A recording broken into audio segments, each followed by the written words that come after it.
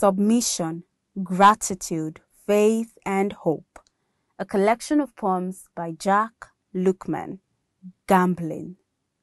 We all gamble, in one form or the other, hoping to win and hoping to gain.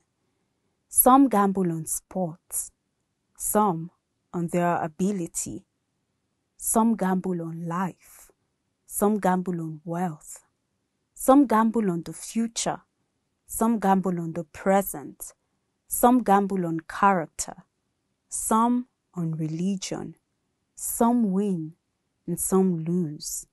The ultimate winners and losers sacrifice one thing or the other.